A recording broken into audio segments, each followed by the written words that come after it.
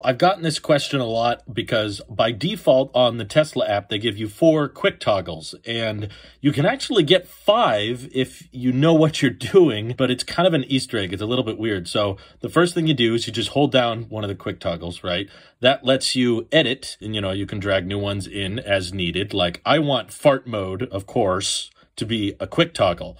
So what you do is you hold it down, you drag it to the fourth icon, leave it there, don't let go, and then take your first icon here, drag it to the left, and then boom, you let go. Now you've got five quick toggles. The end result is now, at a moment's notice at any time, you can just make your car fart.